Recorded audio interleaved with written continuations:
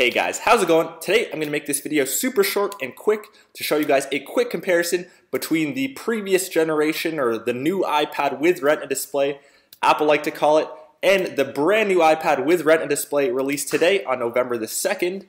They are pretty much identical as you can see. However, there are a few differences. If we take a look at the ports, the previous generation on top has that 30 pin connector compared to the lightning port.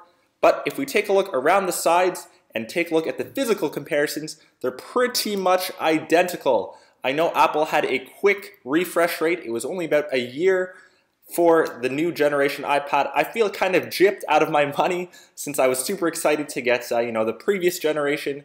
But here we are today with a brand new one.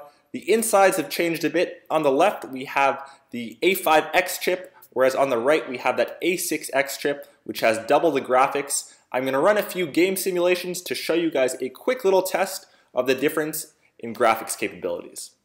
And we're going to choose Infinity Blade 2 since it is an intensive game, so if you start them at the same time, you'll notice that the new iPad, or uh, the fourth generation iPad, loads slightly quicker, and I would definitely hope so since Apple claims it's twice as fast as the previous gen.